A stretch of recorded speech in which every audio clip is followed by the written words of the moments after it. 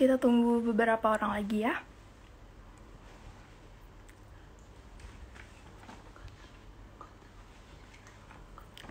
Oke, bismillahirrahmanirrahim. Assalamualaikum warahmatullahi wabarakatuh. Semuanya, kakak-kakak, abang-abang, teman-teman, dan semuanya. Gimana nih kabarnya? Semoga kalian semua dalam keadaan sehat walafiat ya semuanya. Dan eh, sebelumnya juga aku mau cek sinyal dulu gimana apa suara aku terdengar jelas dan gambarnya apakah sudah clear. Kalian bisa eh, bilang di, ko- di komentar ya. Gimana?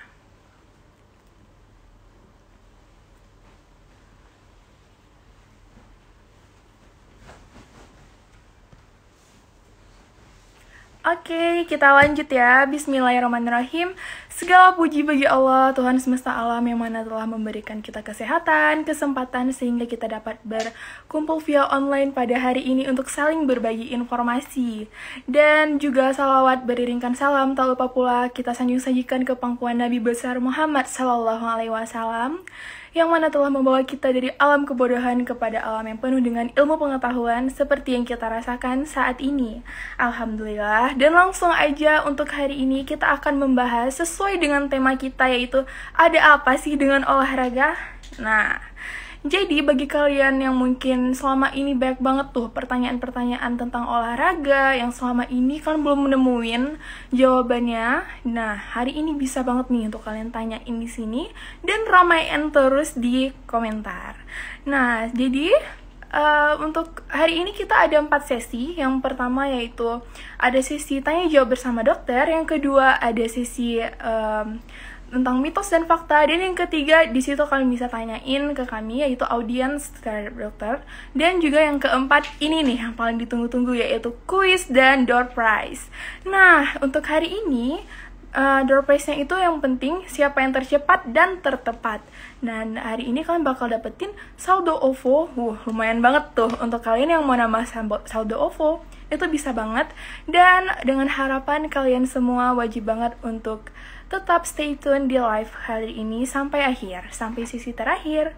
Karena di uh, menit terakhir juga aku bakal uh, ngepin e-sertifikatnya untuk kalian bisa akses. Nah, oke. Selanjutnya untuk tema kita hari ini yaitu ada apa sih dengan olahraga. Nah, di sini tuh kenapa sih kita harus bahas tentang eh, olahraga? Nah, seperti kita tahu, kalau misalnya olahraga itu adalah olahraga terpenting bagi kesehatan kita, bagi eh, kebutuhan tubuh kita, tapi semuanya pasti cuma tahu di luarannya aja. Pasti kalian cuma tahu pentingnya bagi kesehatan kita, tapi kita nggak tahu untuk manfaat yang lebih dalamnya terhadap olahraga ini.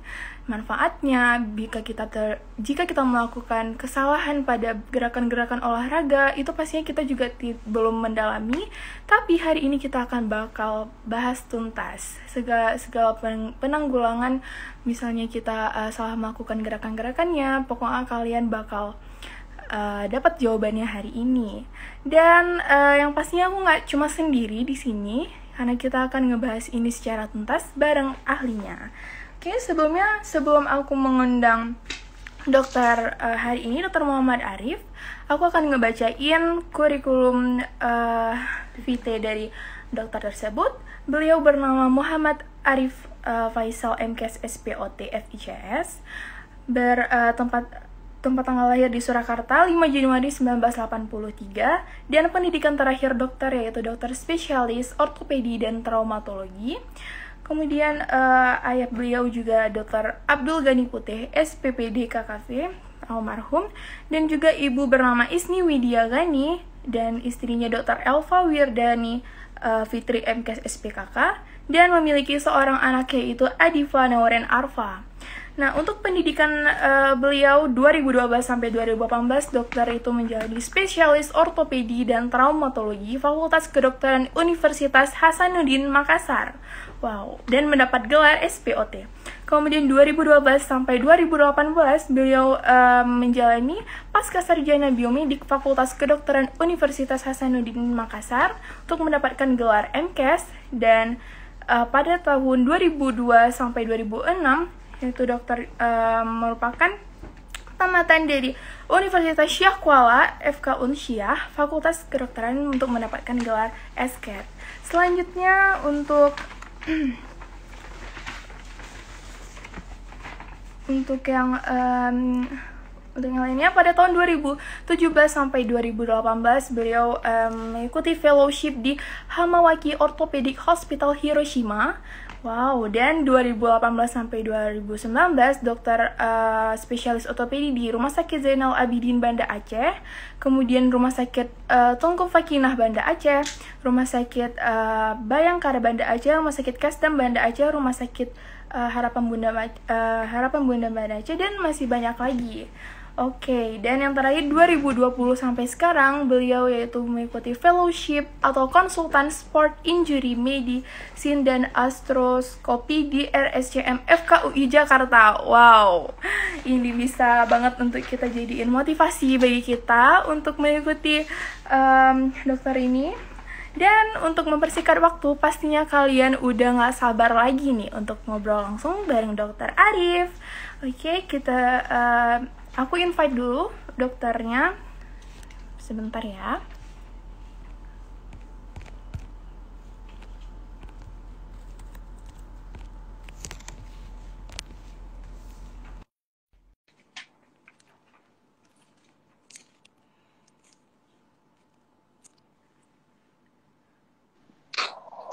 Oke, okay. assalamualaikum warahmatullahi wabarakatuh, dokter. Selamat sore. Ya, selamat ya, sore. Bagaimana dokter kabarnya? Bagaimana dokter kabarnya? Alhamdulillah, baik-baik aja di sini. Mm. Uh, uh. Gimana dokter keberadaannya? Kalau tahu sekarang? Saya lagi di Jakarta nih, uh, di Jakarta. Lagi si pendidikan konsultan di RSCM. Jadi, ya, semoga Bareng Desember. Ya, enggak, sendiri aja. Oh, sendiri Oke dokter nih sepertinya uh, para audiens juga udah nggak sabar lagi untuk kita lanjut di sesi pertama hari ini yang bertema dengan ada apa sih dengan olahraga. Untuk sesi pertama di sini saya akan menanyakan bagaimana sih definisi olahraga dan seberapa pentingkah olahraga bagi kita khususnya di era new normal ini dokter. Silakan dokter. Oke, jadi sebelum kita mulai, uh, salam olahraga untuk semua adik-adik sekalian, teman-teman maupun uh, kolega semua yang dengerin dan yang nonton juga. Jadi ya untuk saat sekarang ini, apalagi saat corona begini ya, lagi pandemi begini, uh, kita itu nggak boleh hanya diem aja di rumah.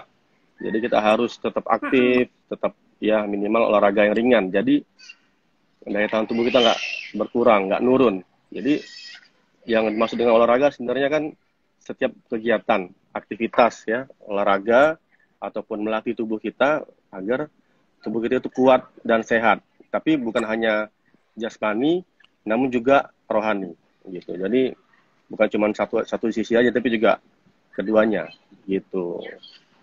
Ya. Oke. Okay. Oke, uh, benar banget dokter. Jadi berdasarkan manfaatnya, olahraga ini dibagi dalam beberapa jenis ya dokter. Dan apakah jenis olahraga berpengaruh besar terhadap auto outcome yang dirasakan oleh tubuh kita dokter? Oke, jadi kalau garis besarnya itu olahraga terbagi dua. Ada yang aerobik, ada yang non aerobik. Ya, jadi seandainya yang aerobik itu maksudnya itu yang 50 sampai 70 persen itu gunanya untuk uh, meningkatkan heart rate maksimal dari tubuh kita. Ya misalnya kita bisa uh, apa tuh latihan untuk bagi jantung kita ataupun cardio exercise. Nah kalau yang uh, anaerobik itu ya kita gunanya untuk melatih otot kita. Jadi yang garis besarnya itu ada dua ya aerobik dan non aerobik atau anaerobik. Jadi latihan bagi uh, untuk kardio dan non kardio gitu. Oh. Ya. Iya, teman kita makin tahu ya. Dan selanjutnya ini ada juga apakah olahraga itu dapat mempengaruhi diet sehat seseorang nih dokter? Pastinya nih banyak banget nih yang dietnya melalui olahraga juga. Oke, jadi sebenarnya diet dengan olahraga itu nggak bisa dipisahin. Jadi kalau diet itu kan kita tujuannya suatu upaya atau cara untuk menurunkan berat badan. Namun caranya itu kita dengan mengurangi atau mengatur nutrisi kita. Ya tujuannya supaya tubuh kita tuh tetap stabil, nggak kelebihan berat badan, nggak kelebihan lemaknya. Tapi diet itu hanya bisa uh, untuk mengatur nutrisi tadi, tapi nggak bisa mengatur keseimbangan tubuh, nggak bisa mengatur kekuatan, uh, terus uh, kestabilan paru-paru dan jantung kita. Nah, karena itulah harus disertai dengan olahraga. Jadi kalaupun kita olahraga ataupun kita diet, tujuannya untuk sehat harus sekalian, nggak boleh hanya diet saja ataupun olahraga saja. Kalau kita olahraganya maksimal tapi dietnya nggak bagus juga, misalnya olahraganya nggak bisa-habisan, tapi dietnya tapi makannya tetap banyak. Misalnya yang banyaknya lemaknya doang, proteinnya dikit. Nanti tubuh kita lemah karena kalau kita olahraga nanti glikogennya akan dipecah terus. Nah, jadi bagusnya olahraga juga, dietnya juga. Ya, gitu. Jadi karena satu gram protein itu gunanya untuk satu kilogram berat badan, ya. Oke, gitu. Ya. Berarti harus balance antara makanan dan olahraga juga ya, dok? Ya, betul. Selanjutnya untuk pertanyaan bagaimana olahraga yang paling baik nih untuk uh, program diet? Pastinya banyak banget yang penasaran gitu. Oke. Okay. ya olahraga yang paling bagus untuk dia tuh ya macam-macam ya. Ada olahraga misalnya tergantung juga dari usia pasiennya. Misalnya uh, kalau pasiennya itu udah tua ya nggak boleh kita olahraga yang high impact. Misalnya jogging atau olahraga yang angkat beban terlalu berat. Tapi kalau untuk pasiennya pengen dia tapi masih muda ya bisa angkat beban atau sepeda atau renang. Yang penting disesuaikan dengan maksud dan tujuannya apa. Eh, gitu. Karena kalau olahraganya terlalu ekstrim nanti takutnya malah bisa berefek bagi tubuh. Ya gitu. Benar banget dokter. Selanjutnya ini ada uh, pertanyaan yang keempat nih. Apa saja olahraga baik untuk orang lanjut usia nih dokter? Oke. Ya kalau untuk olahraga orang yang lanjut usia tuh ya harusnya olahraga yang low impact tadi saya bilang ya. Boleh lari boleh tapi yang ringan. Lalu boleh apa namanya olahraga untuk jalan cepat boleh yoga boleh renang boleh angkat barbel tapi di bawah dari pengawasan uh, personal trainingnya jadi nggak boleh langsung terlalu apa ya terlalu ekstrim. Ntar malah orang tuanya nanti bakal cedera. Misalnya ya lututnya nanti bakal oani lebih cepat ya. atau bisa fraktur. Karena otomatis kan kalau kita udah tua ya ada kemungkinan untuk ya bisa osteoporosis bisa fraktur kan kasihan gitu iya berarti harus uh, pertimbangin lagi dengan kondisi tubuh uh, si seseorang ya iya betul Selanjutnya ini kita uh, lanjut ke sesi yang kedua yaitu mitos atau fakta. Hmm. Nah, ini mm. banyak banget yang kepikiran ini sebenarnya benar atau mitos sih sebenarnya ini. Yang pertama yaitu mitos atau fakta, latihan beban dapat membuat wanita berotot besar seperti laki-laki.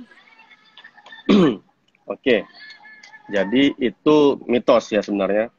Karena sebenarnya kalau pada wanita, kalau pada pria itu paling banyak tuh hormon testosteron. Jadi yang buat kita berotot itu testosteronnya. Jadi iya. sedangkan pada wanita itu testosteron hanya 5%. Jadi misalnya tiga bulan pria dan wanita sama-sama berolahraga dengan beban yang sama, waktu yang sama. Nanti yang pria bakal berotot dan yang wanita enggak, biasa aja. Cuman olahraga bagi wanita itu kan dia bertambah fit, bertambah segar, bisa untuk mengasuh anaknya, bisa anak bisa lebih bahagia, enggak stres, bisa iya. bisa apa ya, relax. Jadi tujuan olahraga bagi wanita mungkin bukan untuk otot, tapi untuk fresh mungkin ya, gitu. Ya. Ah, nah, gitu okay. nih penonton misalkan mau angkat beban barbel itu jangan takut lagi karena itu bakal membuat tubuh kalian jadi fit nih. Dan yang ke nomor kedua, ini mitos atau fakta berenang atau olahraga atletik dapat membuat tubuh kita makin tinggi. Hmm, Oke, okay. sebenarnya dikatakan mitos juga enggak. Fakta sih juga bisa karena yang buat kita tinggi itu ada dua faktor. Pertama, genetik itu yang nggak bisa dirubah tuh. Misalnya hmm. orang tua kita tinggi, nanti kemungkinan besar kita juga bakal tinggi juga. Yang kedua itu lingkungan. Nah lingkungan tadi ada dua, olahraga teratur, gizi, dan apa ya istirahat yang cukup. Makanya kalau anak-anak itu kan harus tidur siang, nggak boleh begadang malam tidur. Nah tadi itu olahraga yang cukup tadi itu termasuk ya mungkin renang, mungkin yoga bagi anak-anak mungkin senam-senam atletik. Nah itu makanya renang itu kalau kita sering-sering lakukan bisa membuat tulang belakang kita menjadi lebih panjang, kaki juga lebih panjang, tapi dengan teratur ya. Jadi ya, ya bisa dikatakan ya fakta juga mungkin ya. Oh fakta. Ternyata yang selama ini saya pikirin saya kan termasuk tinggi dokter. Jadi takut juga nih berenang hmm. makin tinggi. Ternyata ya. itu fakta dokter ya lebih ke fakta. Ya. Oke. Okay. Lanjut ke tiga mitos atau fakta, denyut jantung maksimal saat berolahraga adalah 200 uh, 200 uh, sampai uh, usia lanjut. Ya, sebenarnya kurang lengkap. Jadi uh, faktanya itu perhitungannya 220 200 uh, 20 dikurangi dengan usia kalau pada orang normal ya dikali dengan 80%. Nah, kalau pada memang dia atlet profesional, 220 dikurangi usia, dikali ya boleh 70 sampai 100 persen. Karena kalau pada apa namanya orang yang profesional dia kan jantungnya otot-ototnya lebih terlatih. Jadi bisa sampai segitu karena dia mungkin lebih kuat daya tahan tubuhnya. Karena makanya kita setiap olahraga harus ukur dulu berapa uh, heart rate kita. Jangan sampai entar setelah olahraga kita cek heart rate kita rupanya udah takikardi, udah kecapean sekali. Nah, itu berbahaya. Makanya gimana ya? Yang tadi itu kurang tepat sih, bukan 220 kurang usia, tapi ada pengalinya lagi. Nah, oh. ya. Nah, gimana dong itu?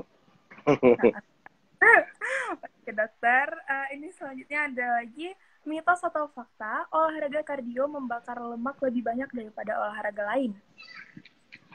Oke.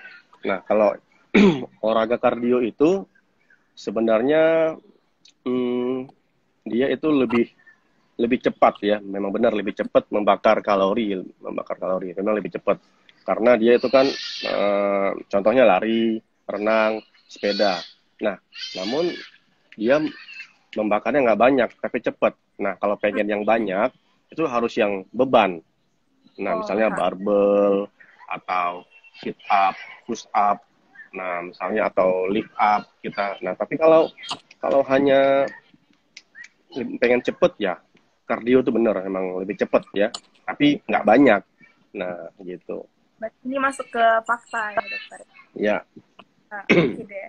Nah, kita lanjut lagi. Ini ada mitos atau fakta bersepeda bisa menimbulkan risiko kesehatan. Di antaranya mandul atau bersepeda dapat menyebabkan wanita kehilangan keperawanannya ini banyak banget nih dokter yang uh, Oke. Okay. Sepeda ya.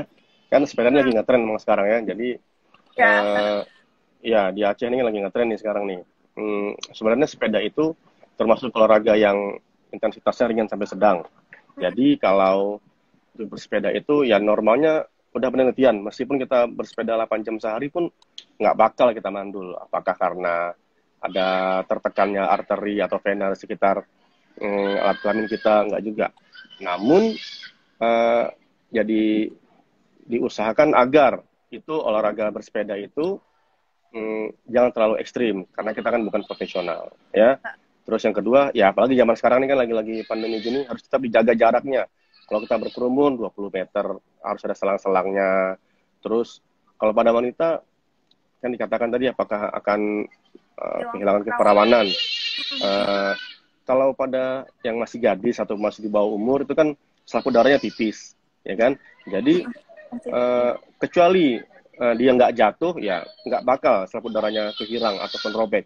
Karena semakin dia berusia, selaput darah semakin tebal. Ya kalau nggak jatuh sih, insya Allah nggak bakal hilang keperawanannya, ya kayak gitu. Apalagi sekarang kan sepeda-sepeda sekarang itu kan joknya itu ataupun kursi kan udah udah empuk tuh, udah udah seharga mobil tuh sekarang sepeda terutama tuh sepedanya orang-orang Aceh kan keren-keren sekarang. Nah, nanti gabung tuh sepeda Tornanta tuh pasti ada tuh. Nah, itu insya Allah sih nggak apa-apa. Jadi itu mitos ya. Ya. Masuk ke mitos dan eh, harus Ya. kita juga harus lebih hati-hati. Itu juga satu Benar, yang penting hati-hati. eh, perempuan. Deh, selanjutnya kita eh, lanjut ke pertanyaan selanjutnya. Mitos atau fakta, kalori yang terbakar berjalan kaki sama dengan kalori yang terbakar saat berlari. Hmm, Oke, jadi sebenarnya kalau pada saat kita lari itu beda ya sama pada saat kita jalan. Jadi istilahnya kalau kita eh, lari sekitar satu kilo dengan orang berlari berjalan sekitar eh, tiga kilo, ah, perbandingannya gitu. Hmm, jadi beda. Nah, jadi nggak mungkin sama kalorinya karena intensitasnya beda. Nah, kalau pengen sama kalori jalan dengan kalori lari, ya jalannya harus diubah, harus jalan cepat. Nah, jadi jalan cepat dengan cara hmm, jaraknya harus sama, lalu gerakan tangan lebih cepat dan jaraknya kaki juga deket-deket. Nah, itu mungkin bisa kalorinya sama dengan lari. Tapi kalau cuma jalan, beda jauh tuh dengan lari. Hampir perbandingannya tiga kali. Gitu. Ya. Berarti nggak termasuk ke fakta dan nggak termasuk ke mitos juga ya dokter ya? Hmm. Oke deh. Selanjutnya, eh, ini apakah mitos, mitos atau fakta olahraga pada malam hari berbahaya untuk paru-paru? Oke, gitu ya. Jadi kalau olahraga mal- malam-malam itu sebenarnya eh, kalau orang Aceh bilang tuh paru-paru basah, ya. Sebenarnya sih enggak. Cuman kalau malam hari itu sebenarnya malam hari itu kan kita fokus untuk istirahat. Nah, tapi karena kita mungkin sibuk kerja, banyak kerjaan di siang-siang atau pagi atau sore dipindah tuh ke malam. Nah, boleh sih malam-malam, tapi harus olahraga yang ya mungkin yang low impact, lalu olahraganya harus yang apa ya, yang persiapan matang, harus pemanasan dulu. Terus olahraganya itu nggak boleh habis olahraga langsung setengah jam langsung tidur, nggak boleh. Tapi harus pendinginan dulu ya. Jadi olahraga untuk malam itu nggak ada hubungannya dengan eh, apa namanya penyakit paru-paru. Cuman memang kalau pada malam hari itu kadar oksigen lebih sedikit, jadi kita lebih cepat capek. Mm-mm, kalau dengan penyakit paru-paru tuh mungkin ke infeksi ya, dengan paru-paru nggak ada hubungannya. Ya, Oke, kita lanjut. Eh, ini apakah mitos atau fakta ibu hamil tidak dianjurkan olahraga demi kesehatan bayi? ibu hamil ya. Oke, Ah, ah. jadi untuk ibu hamil itu sebenarnya olahraga boleh, terutama pada trimester ketiga ya, atau sorry trimester pertama.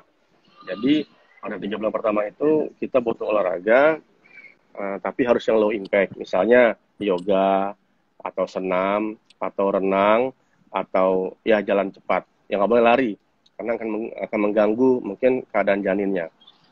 Nah, jadi untuk ibu hamil itu olahraga harus malahan, terutama trimester pertama.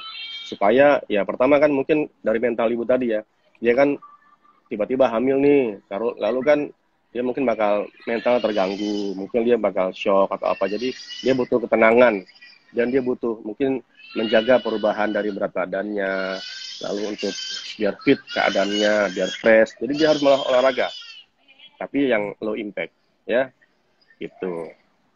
Berarti olahraga yang baik untuk eh, ibu hamil seperti tadi dokter kita sesuai dengan kesehatan ibunya juga ya. Iya, benar.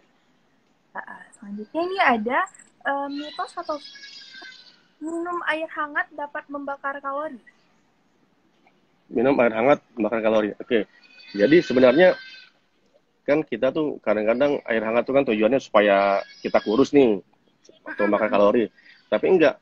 Jadi air hangat itu tujuannya agar lebih cepat diserap sama tubuh, bukan untuk bukan untuk kurus, bukan untuk kalori sih karena eh, ada penelitian yang sampaikan bahwa kalau kita eh, sebelum makan nasi minum air hangat dulu, nah itu kita akan bakal lebih cepat kenyang. Otomatis kalau kita udah kenyang, kita makannya nggak begitu banyak.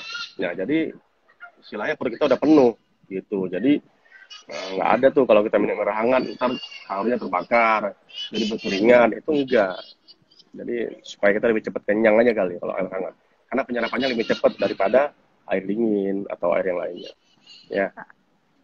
Oke deh uh, selanjutnya nih ada lagi nih mitos atau fakta kalau misalnya habis olahraga minum uh, minuman yang ber uh, isotonik yang mengandung isotonik itu lebih baik dibanding dibandingkan dengan minum air biasa. Gimana dokter? Oke jadi isotonik ya misalnya ya misalnya yang yang yang lagi di pasaran sekarang ya macam-macam lah. Jadi kalau kita yang paling sering kan air biasa tuh. Kalau sekarang ya mungkin ada yang minum misalnya ya prokarisme atau apa. Ya emang benar. Isotonik itu memang lebih cepat untuk mengatasi dehidrasi. Karena kan dia banyak ion-ionnya tuh. Misalnya ada kaliumnya ada glukosanya. Jadi kalau glukosa itu kan dia mm, menjaga kestabilan glukosa dalam darah. Jadi kalau kita habis olahraga kan kadang-kadang hipoglikemi tuh. Nah kalau adanya glukosa jadi kita nggak begitu cepet capek jadi nggak drop itu gunanya glukosa terus kalium dan teman-teman lainnya itu membantu untuk supaya kita nggak cepat dehidrasi karena dia menahan dari urin gitu. Ya memang paling bagus sih kalau bisa habis olahraga tuh ya minum yang isotonik sih kalau ada. Tapi kalau enggak yang penting air minum biasa juga boleh.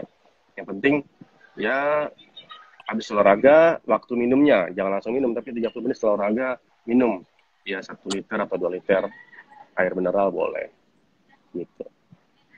Oke, dan terima kasih dokter dan selanjutnya okay. ini ada lagi um, mitos atau fakta, menggerakkan bagian tubuh yang kram secara perlahan sambil dipijat lembut dapat meredakan kram tersebut. Gimana, dok? Oke, kram ya. Jadi itu kalau kita lagi kram, sebenarnya mm -hmm. itu kram itu kan keadaan pada tubuh kita saat digunakan berlebihan atau overuse. Jadi itu tanda. Kalau kita tuh udah kecapean, disuruh stop tuh. Nah, jadi caranya kalau sekarang kan kalau dulu tuh cuman rice kan press iya. uh, terus ice compression sama elevasi. Tapi sekarang udah tambah lagi tuh namanya pricer. Jadi ada P-nya. P itu protection. R itu rest I itu uh, apa namanya ice C compression E elevasi sama yang satu lagi itu R referral nah itu harus dirujuk ataupun kalau emang nggak bisa tangani nah Tadi kan ada tadi naik apa tadi dipijit-pijit ya. Nah, pijit-pijit itu nggak boleh sebenarnya. Nggak boleh. Jadi sekarang ada lagi namanya no ham. Ham itu uh, H A R M, heat.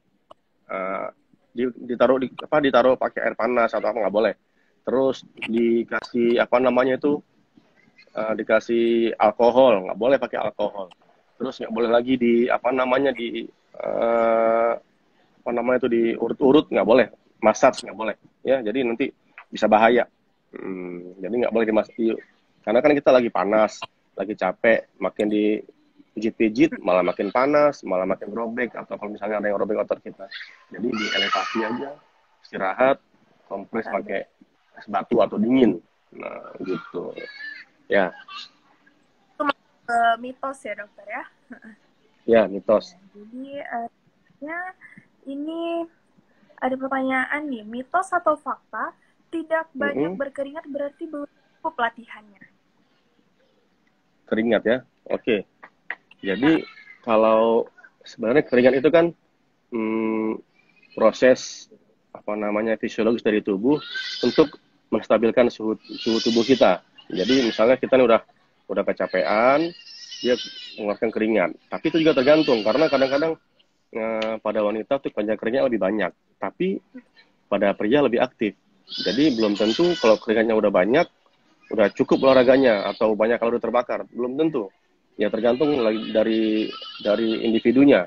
Karena kalau pada atlet profesional, pada orang yang fit atau bugar, dia itu olahraga olahraganya misalnya sama-sama setengah jam.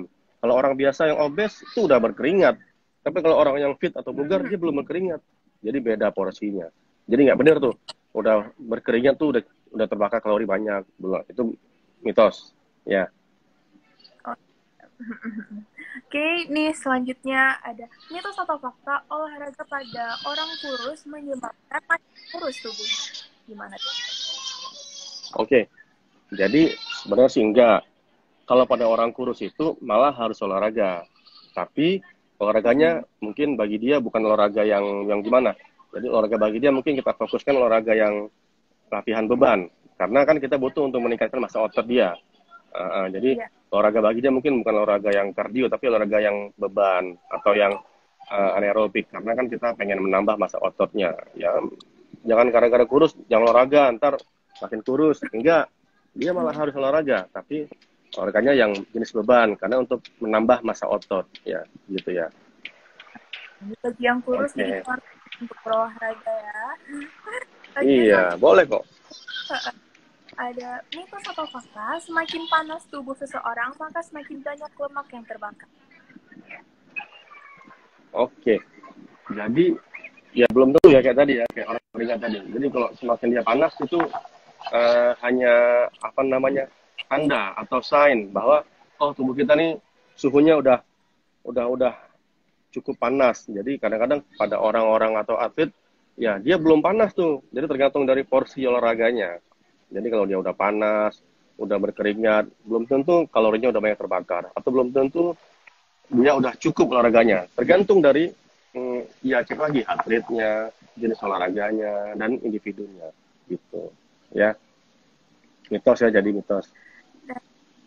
Untuk mitos ya dokter. Oke selanjutnya yeah. ada pertanyaan terakhir untuk dan fakta. Uh, pemanasan dapat membantu proses olahraga. Bagaimana penjelasannya dokter? Ya betul. Itu fakta. Karena pemanasan itu kan istilahnya itu melatih core ataupun inti dari tubuh kita. Dia menyesuaikan suhu tubuhnya sebelum sama seperti mobil sebelum kita mau jalan jauh kan kita panasi dulu tuh. Jadi supaya misalnya kita mau lari, kita harus peregangan dulu atau stretching dulu supaya oli yang di tubuh kita di lutut ataupun di sendi bahu, sendi siku itu menyebar dulu, masuk dulu ke semua sendi-sendi, baru kita mulai olahraga inti. Kalau enggak, tiba-tiba nanti bisa shock kita, ya. Gitu. Selanjutnya ini kita lanjut ke sesi 3 yaitu Q&A dengan penonton nih. Bagi kalian yang ingin bertanya bisa langsung. Dan kali ini aku akan menerima dua pertanyaan dari kalian ya. Tapi sebelumnya udah ada yang uh, bertanya. Ini di atas. Ya, kita uh, ada di Farah Witna. Nah, ini. Assalamualaikum dokter, izin bertanya bagaimana pendapat dokter tentang olahraga yang dilakukan oleh penderita skoliosis. Apakah dapat membantu pengoreksian derajat kurva pada spinnya? Bagaimana dokter? Oke, jadi ini sebenarnya nih harus kerjasama dengan Profesor Dokter Nanta nih yang memang ahli tulang belakang nih ya. Jadi kalau untuk orang yang skoliosis itu pertama ya dulu usianya berapa, terus tujuan dia olahraga untuk apa. Terus yang ketiga, berapa kurvanya. Jadi kurva dari skoliosisnya, apakah 20 derajat, 30 derajat, terus udah operasi atau belum, udah koreksi atau belum, dan kurvanya miring ke kiri atau miring ke kanan. Dan seandainya uh, dia memang uh, kurvnya itu mungkin sekitar 20 atau 30, masih kecil, jadi ya mungkin dia selain pakai brace dia itu harus mungkin olahraganya yang yang melibatkan semua anggota gerak tubuh ya. Yoga boleh ataupun yang yang non yang anaerobik boleh atau mungkin renang juga boleh. Ya mungkin yang paling paling dianjurkan mungkin renang ya sama sepeda kali. Gitu. Oke, berarti uh, untuk penderita skoliosis itu nggak masalah untuk olahraga, tetapi harus dibagiin dulu uh, olahraga jenis apa yang bakal. Iya, jangan yang terlalu berat ntar sesak. Karena kalau kalau itu kan yang paling dikhawatirkan kalau dia udah sesak mungkin curve-nya udah tinggi mungkin itu harus operasi ya. Coba nanti tanya ke dokter Nanta lagi tuh ahlinya tuh tulang belakang. Tuh ya oke.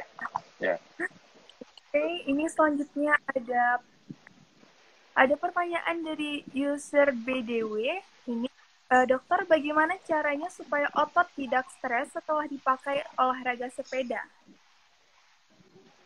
Oke, ini dari Mas Bido nih. Mas Bido ini memang uh, hobinya naik sepeda jauh-jauh nih, sepedanya mahal lagi.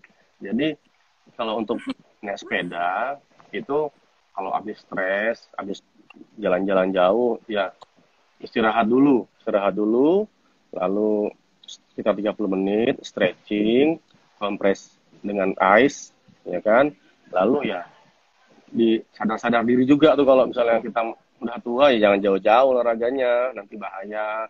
Terus juga jangan terlalu ekstrim medannya. Ya kalau ototnya ya mungkin boleh kita pakai yang tadi pricer tadi protection. Misalnya pakai ini support tuh ininya di support. Terus pakai rest ya istirahat. Terus diimobilisasi atau memperbaiki es batu elevasi. Dan kalau emang udah sakit ataupun ada mungkin locking locking sensation ya boleh. Kita MRI tapi kalau cuma untuk melindungi otot atau muscle mungkin pakai ini support boleh kok. Ya Mas Bido. Begitu penjelasannya dan uh, ini yang terakhir ada pertanyaan dari dokter Nanta dokter Nanta underscore Punja. Nah ini mitos atau fakta dok? Kalau selesai olahraga nggak boleh langsung mandi ya? Nah ini pasti banyak banget juga yang penasaran dokter. Gimana penjelasannya oh, dokter? Okay. Ya, sebenarnya kalau kita setelah berolahraga, itu kan suhu tubuh kita tinggi tuh, meningkat. Jadi pada saat itu kan metabolisme tuh lagi lagi tinggi, terus itu pori-pori tubuh lagi terbuka. Sebaiknya kita itu istirahat dulu, ya, pendinginan dulu, duduk dulu. Nah, sama-sama 30 menit minum air putih dulu yang yang yang bisa mendinginkan. Nah, setelah kering, baru kita mungkin bisa mandi. Mandinya pun nggak boleh itu langsung dengan air yang sangat dingin ataupun yang sangat panas tapi harus yang sesuai dengan suhu tubuh. Gitu. Ya. Dan sepertinya uh, karena waktu kita juga masih ada nih dokter dan pertanyaannya juga masih banyak kita lanjutin hmm. lagi dulu dokter ya. Boleh. Uh, ini ada juga hmm, dari Prawira Putra Satria. Nah, izin bertanya dokter, untuk menghindari cedera lutut saat berolahraga, ada teknik pemanasan seperti apa dokter Arif? Terima kasih dokter. Nah, bagaimana ya dokter penjelasannya? Oke, dari dokter Satria nih, dokter Satria juga ortopedi di di daerah Bekasi nih, cukup hits nih di sana. Jadi kalau untuk olahraga yang aman bagi, bagi lutut itu ya otomatis kita harus sebelum olahraga pendinginan dulu. Ya misalnya kita bisa lari-lari kecil, lari-lari ringan, lalu kita bisa lari di tempat dulu. Sambil kita kalau ya kalau bisa kalau memang kita kita ada cedera, berarti olahraganya jangan yang terlalu high impact. Misalnya sprint atau sepeda tapi yang mungkin mountain bike atau yang mendaki-mendaki gitu. Tapi ya mungkin yang yang yang jarak yang jarak-jaraknya tuh kecil-kecil, ya kan. Lalu kalau bisa juga naik sepeda ataupun mau olahraga ya pakai ini support ya supaya lututnya ya mungkin terlindung misalnya pun jatuh gitu. Ini juga masih ada dari Salsa Taufik. Dokter, apa benar kalau selesai makan langsung tidur itu bisa bikin gemuk? Nah, gimana dokter? Oke, sebenarnya kalau setelah makan langsung tidur itu uh, yang bilang langsung gemuk tuh nggak bener ya. Karena hmm. ya kalau makannya sedikit atau makannya banyak terus tergantung apa yang dimakan ya kan? Sebenarnya sih kalau kita habis makan itu harusnya ya baiknya sih nggak boleh langsung tidur supaya apa tadi ya nutrisi yang tadi kita makan itu mungkin ada waktu untuk dicerna dulu ya. Jadi dia nggak langsung terpendam di dalam uh, one spot uh, sentral. Jadi dia harus menyebar ke seluruh tubuh dulu di metabolisme dulu. Kalau enggak kan nanti dia akan on spot sentral. Jadi harusnya kalau bisa sebelum tidur ya mungkin jalan-jalan dulu atau mungkin dia ya mungkin sebelum tidur bisa stretching stretching sebentar gitu. Ya. Ini selanjutnya juga ada dari Jabar BTJ dokter bersepeda bisa bahaya nggak buat skrotum laki-laki? Nah bagaimana dokter? Ya tadi kan udah dijawab tuh. Ya sebenarnya sepeda itu hmm, nggak bahaya.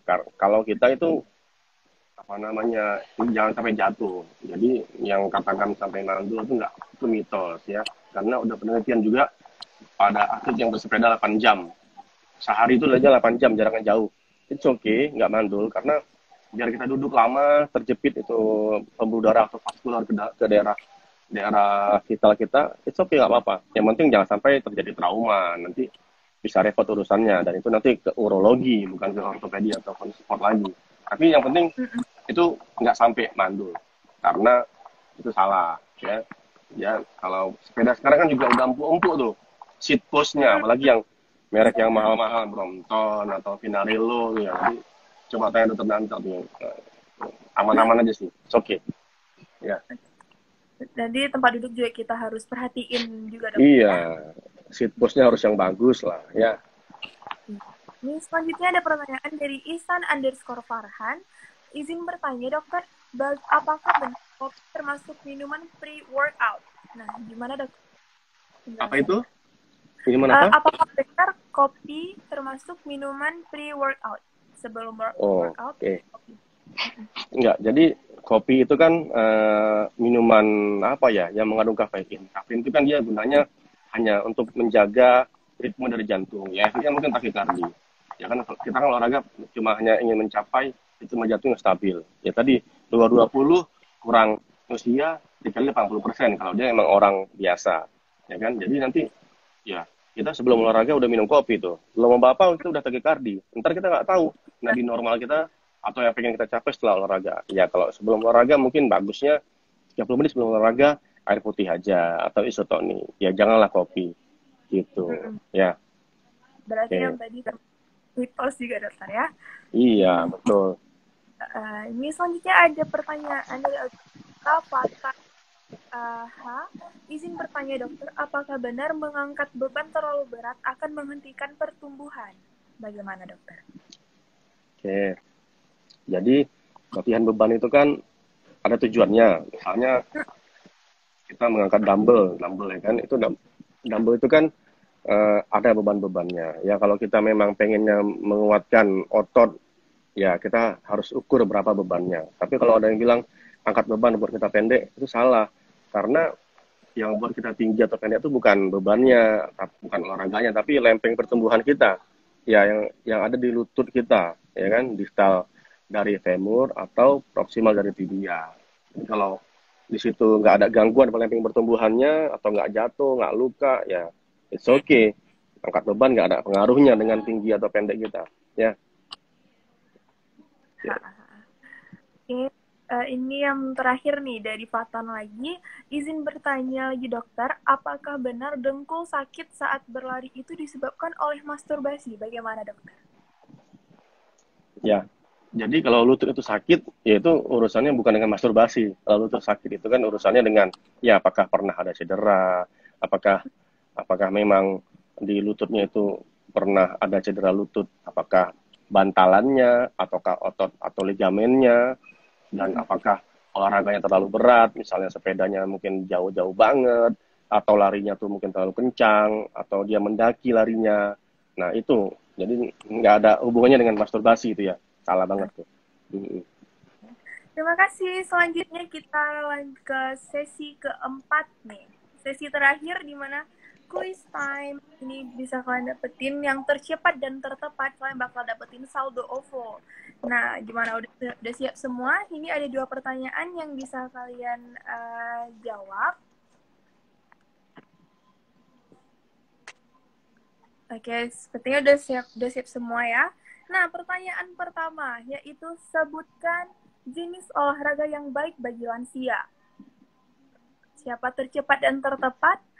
akan uh, mendapatkan door prize saldo OVO. Kita tunggu dulu ya dokter ya. Oke. Okay. Ayo, tadi dokter juga udah jelasin tentang olahraga yang baik bagi lansia.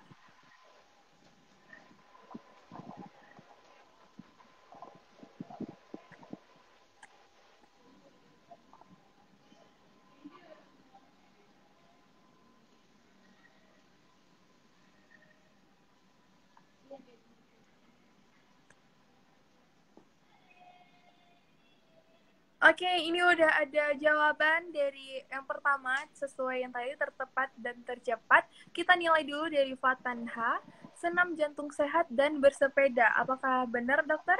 Gimana? hmm, benar, boleh boleh. Benar. Oke, selamat kepada Fatanha untuk pemenang pertama.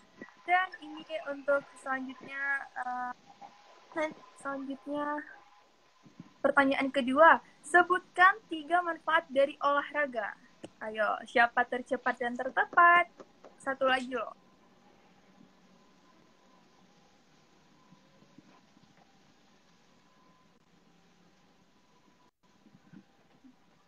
Tiga ya, tiga manfaat dari olahraga.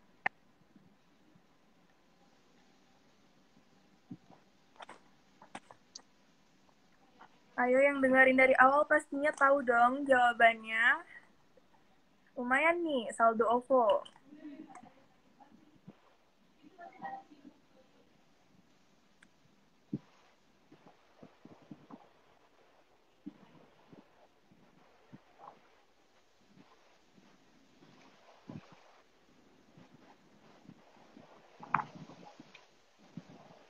Ayo, siapa nih?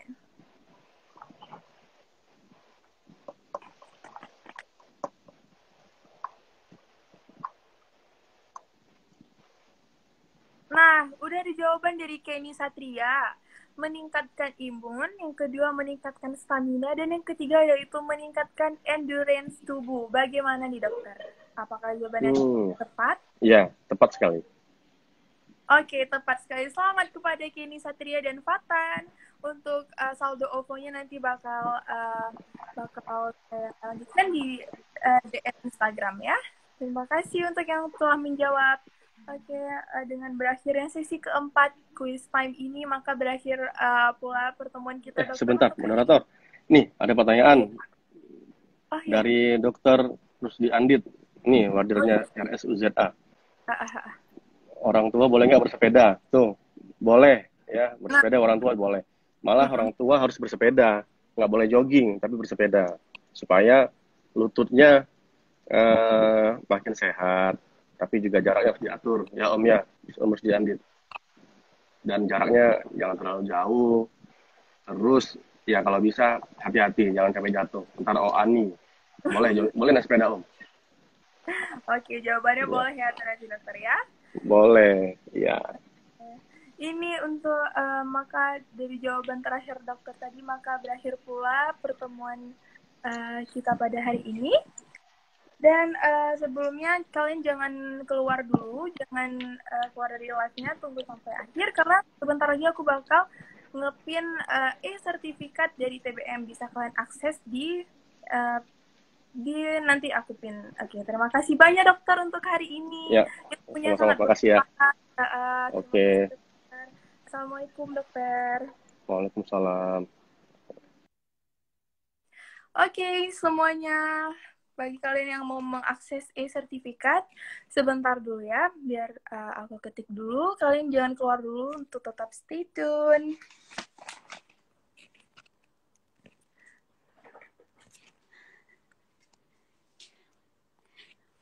Nah, ini dia uh, dari Ali Kurnia, uh, Kur- Kurnila, yaitu salah satu panitia kami. Ini udah bisa kalian akses eh, linknya di pin Instagram ini. Dan eh, pesan-pesan untuk TBM eh, juga kalian bisa masukin di sertifikat tersebut. Oke, semuanya udah pada copy dan atau enggak screenshot eh, ininya, eh sertifikatnya.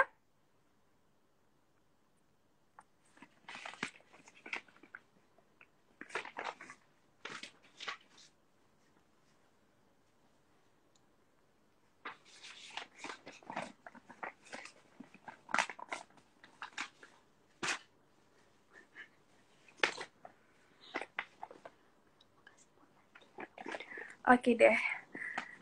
Pastinya semuanya udah screenshot dan uh, copy link ini. Dan terima kasih banyak untuk semua panitia yang udah berpartisipasi dalam acara ini, episode kedua kali ini. Dan bagi pemenang, dua pemenang tadi yaitu Fatan dan Kenny Satria, ntar uh, bakal kami DM Instagram untuk mengambil uh, saldo OVO-nya. Terima kasih banyak untuk semua. Semoga uh, apa pun yang kita bicarakan hari ini bermanfaat bagi kalian. Dan sampai jumpa di episode ketiga dari TBM. Terima kasih. Assalamualaikum warahmatullahi wabarakatuh.